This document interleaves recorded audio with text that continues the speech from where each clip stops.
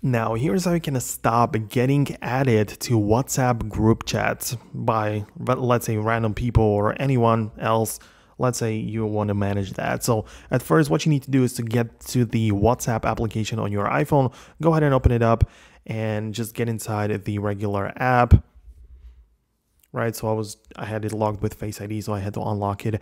And in here, once you click, uh, what you need to click on is the settings, and then head over to the privacy section. And within this, you can manage everything regarding your privacy. But you can see that there is a groups section, and this one lets you decide who can add you to groups.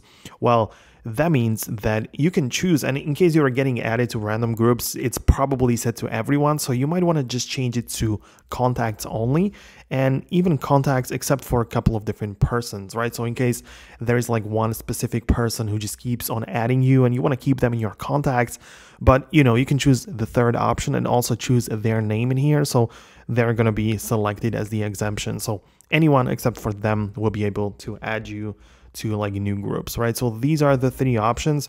And yeah, that's just essentially all that you need to know about it. Like you have a little description here as well. So literally like uh, admins who can't add you to a group will have the option of inviting you privately. Well, I mean, you can read through it and everything, but essentially, in case you don't want like random people that you don't know to add you to groups, just uncheck the everyone and just keep only your contacts. But of course, once you're here, you can also take a look at some other privacy features. Perhaps there is some other things which you want to manage and stuff. So yeah, but I'm going to wrap up the video right now. Let me know down below in the comments what you think about it. Hit the thumbs up if you liked it, subscribe for more, and I'll see you in the next video.